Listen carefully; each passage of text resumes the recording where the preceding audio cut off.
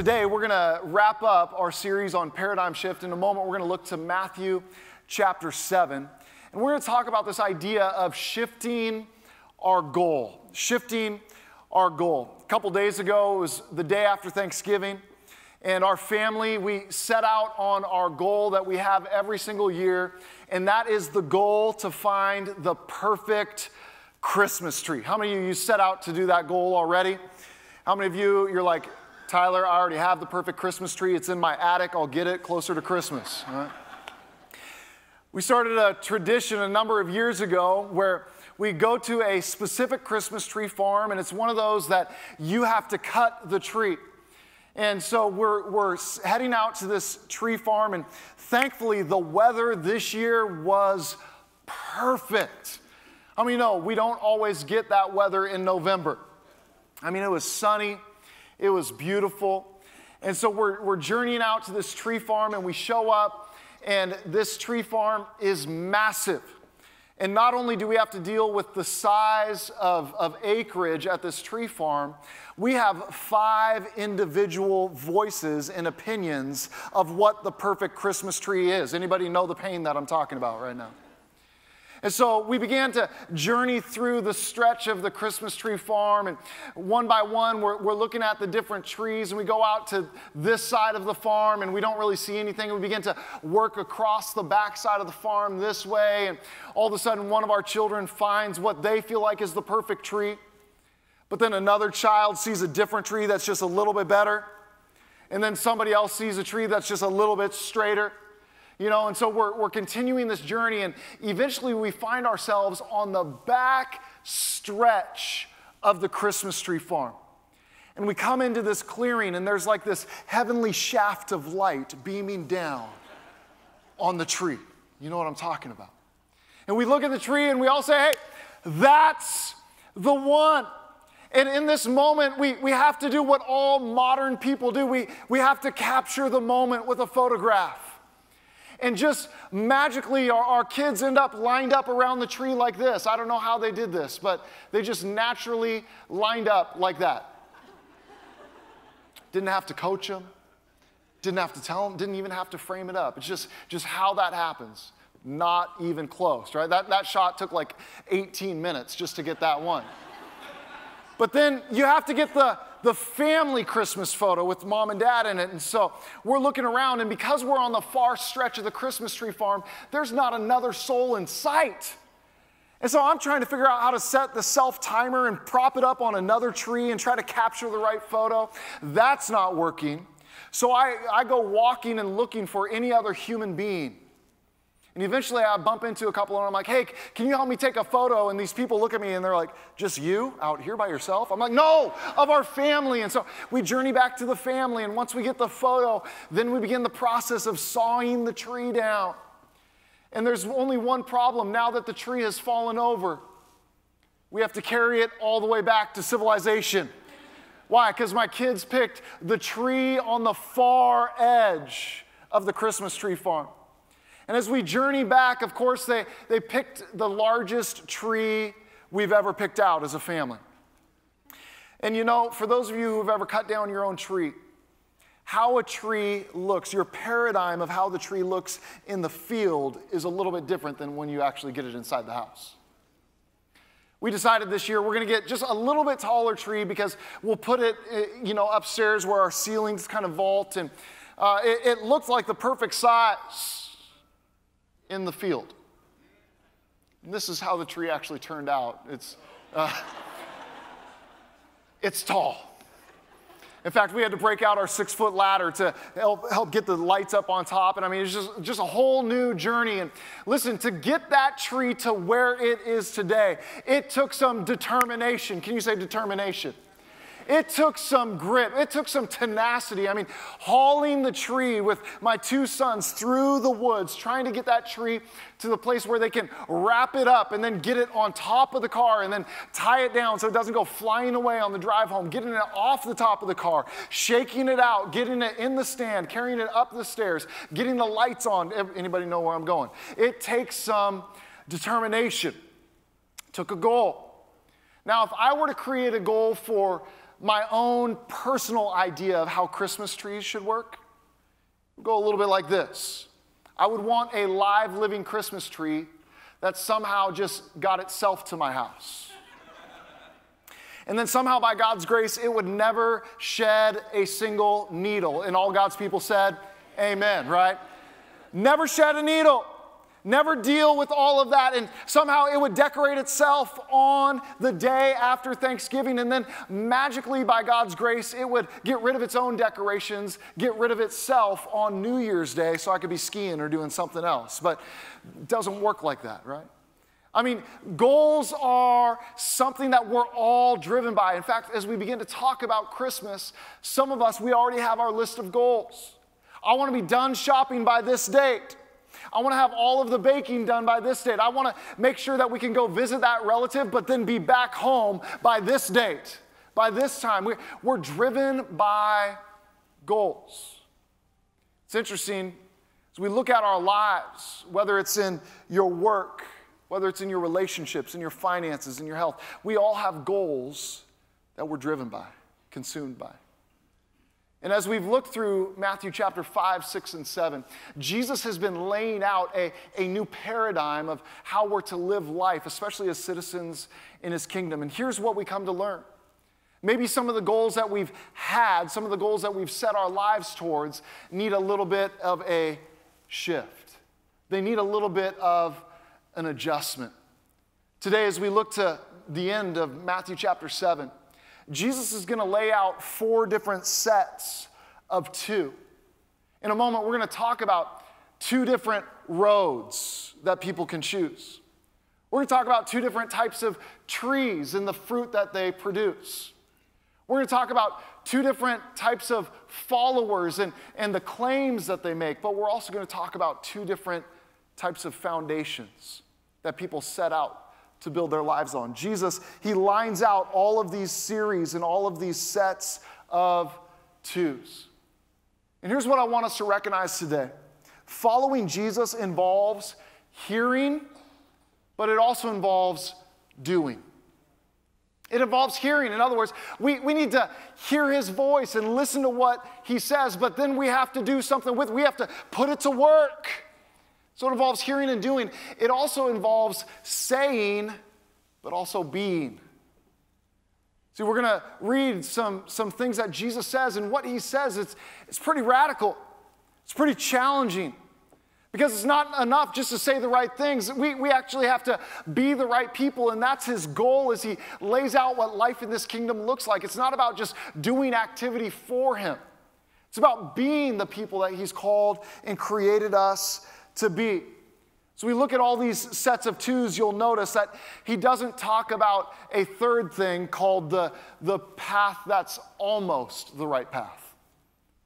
Talks about the right path, the wrong path. He doesn't really give us this idea of the almost right path or the almost good fruit or the, the almost committed follower, the almost right foundation. He leaves it as an option, a, a, a, determination. And here's what we need to understand about determination determination doesn't get us grace, it doesn't get us new life. That's a gift. Salvation is a gift. New life is a gift. You can't earn it, you can't deserve it. But what does, what does determination do in our lives? Well, it takes that new life and it begins to work itself out to become the new people that He's calling and creating us to be. It takes determination to embrace a new paradigm. It takes a little bit of determination to live these new lives that God invites us to experience by His grace. And so, with that in mind, today, I want to share four questions and four truths about these final thoughts in Matthew chapter 7. The first question is this What's my path? Can you say path? What's my path? Jesus says this in Matthew chapter 7. He says, You can enter God's kingdom only through the narrow gate. The highway to hell is broad and its gate is wide for the many who choose that way. But the gateway to life is very narrow and the road is difficult. And only a few ever find it. See, we hear Jesus' words, and again, he's talked uh, now through, throughout the last number of weeks about life in his kingdom and how it's a little bit upside down and inside out from how we often see it. And here, as he's bringing this to conclusion, he, he talks about different ways that people can approach life, different paths that we choose to walk down. There's, there's a broad way, the, the path of least resistance, but here's what I want us to recognize if the goal is always the path of least resistance, obedience is going to be hard to live out. Because sometimes obedience is going to come with some resistance, it's going to come with some challenges. It's going to be a little bit difficult, a little bit challenging. Why is Jesus being so exclusive in this moment? Well, it ties back to what he says in John 14, verse 6, when he declares, I am the way, the truth, the life. No one can come to the Father except through me. In other words, he's saying, listen, there's only one way to get on the right path. It's through me. It's not through your efforts. It's not through your generosity. It's not through all of your volunteerism. No, it's through me. That's why the road is narrow. And here's the truth that we need to understand the road you travel always determines your destination. The road you travel in life, it always determines your destination. See, there's this thing theologically that we refer to it from time to time. It's, it's called free will. Anybody ever met somebody who had some free will? Wouldn't you love it if like you had free will but nobody else did? Wouldn't that be nice? No, we, we all have free will. We all have the right to choose. And often when we talk about free will, we put it in a negative context. In other words, well, they have free will, so they're just going to keep making those bad decisions. But if you have free will to choose what's wrong, guess what that also means? It means that you have free will to choose what is right. In other words, it's not about just choosing what's wrong, but the same grace that gives you the, the ability to choose. You can choose to walk in this grace that God has provided for you. The question is, what's, what's my path? See, we need determination to stay on that path, to come back to this place, to, to work out what God has given to us in His grace, which is new life. We, we work this out through determination. We walk down that, that narrow road. How many of us recognize just because the path is easy doesn't mean the path is right? And at times we, we want the easy path. But if we always choose the easy path when it comes to our finances, how many know that's not going to lead us to a place we actually want to get to? If we're always choosing the easy path when it comes to our physical health, how many of us recognize that's probably not going to create the six pack? If we're always choosing the, the path of least resistance in our relationships, it's not always going to lead to where we want it to go. So, what's the path? What's the path that, that you are journeying down today? Sometimes when we encounter resistance, we, we convince ourselves that something's wrong.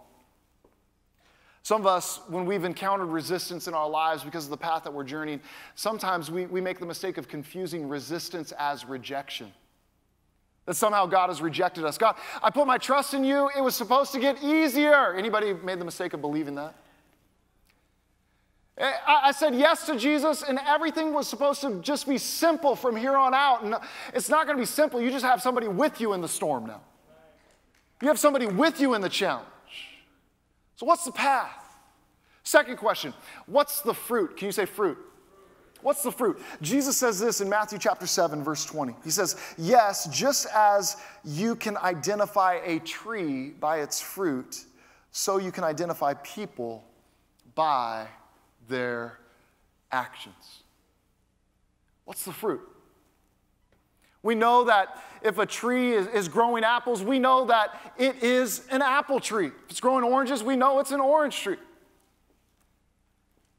You see, in the context of what Jesus is talking about, immediately he's, he's talking about being aware of false teachers and how you can identify a false teacher not by their words, but by the fruit of their lives. Look at the evidence. And yet, this is challenging for us because we have to also stop and consider if that's true about false teachers, it must also be true about me. Because all of our lives are producing something, but we have to stop and consider today what is the fruit. Here's the truth we need to understand the nature of the tree always determines the nature of the fruit. The nature of the tree, it always determines the nature of the fruit. In other words, if you want to change the fruit, you have to be willing to change the root. Because ultimately, all the fruit is is evidence of what the root is.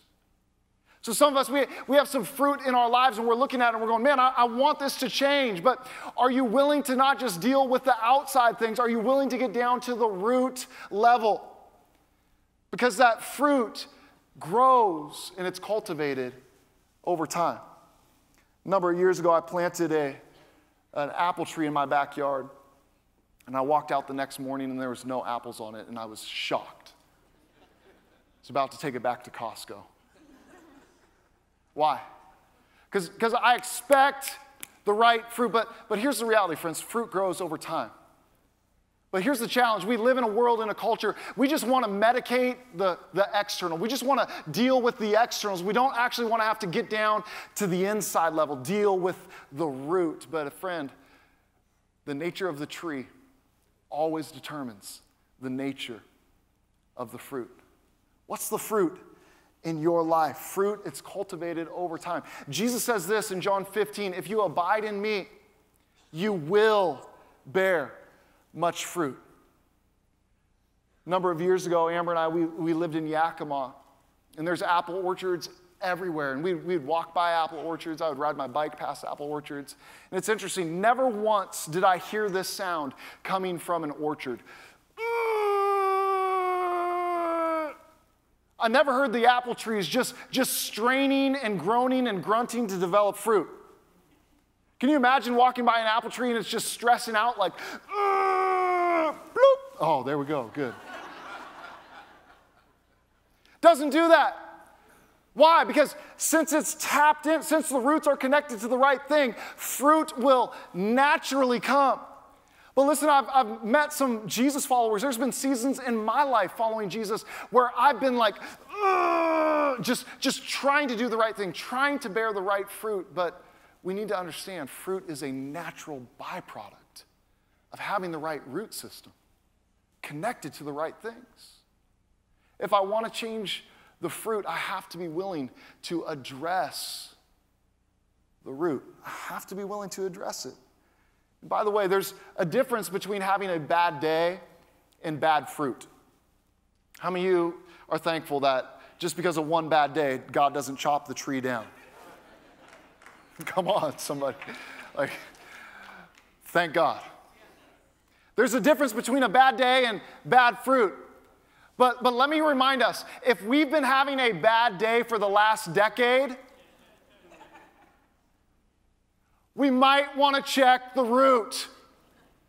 Because maybe we need to unplug from the root system we're currently in, and we need to do what it talks about in Romans and be grafted into the, the new reality, which is Jesus Christ.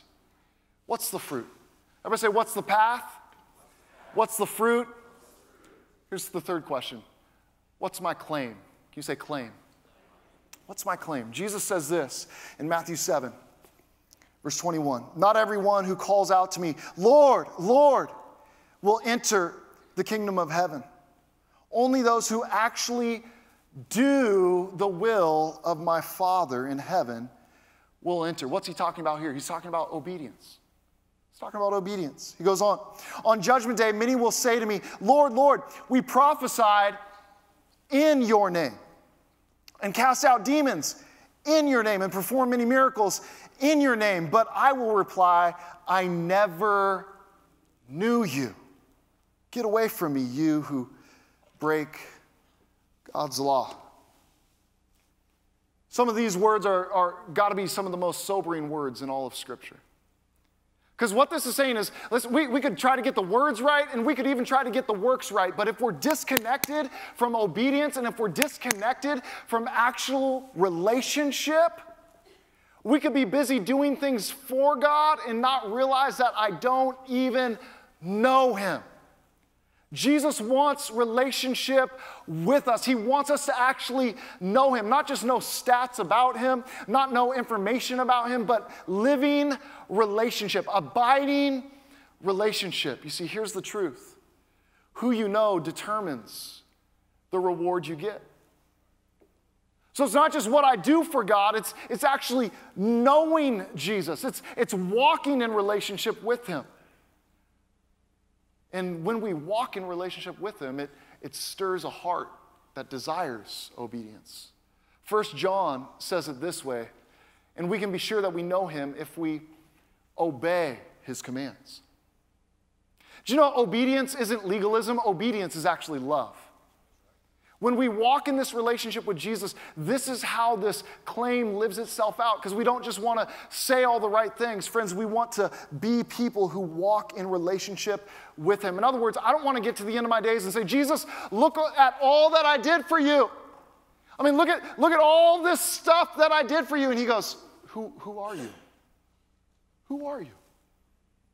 Activity is not a substitute for association. We need to lean into relationship. We need to know Jesus. I can't just do things for him without knowing him. What's my path? What's my fruit? What's my claim? Here's the fourth and final question What's my foundation? Can you say foundation? What's my foundation? Jesus says this in verse 24 Anyone who listens to my teaching and follows it is wise like a person who builds a house on solid rock. Jesus here, he talks about two different builders. And the difference between the two builders, we need to understand something. The, the difference was not hearing, they both heard. The difference wasn't building, they both built. The difference wasn't that one faced a storm, one didn't. They both faced storms. Jesus said the difference was one actually put it into practice. One didn't just listen, one actually implemented it, lived it out. What's my foundation? You see, we need to understand what you build on always determines the stability and the finish. What you build life on, friends, it matters. It matters. See, Here's what I'm convinced of. In the generation that we live in, we do not have an information issue. In fact, many of us, we have smartphones and we have multiple Bible apps on our phone. With a simple search, we could dig into the root word and what the Greek actually means. We could dial up a podcast of some of the world's finest preachers. Listen, we don't have an information issue. What we have, though, is an application issue.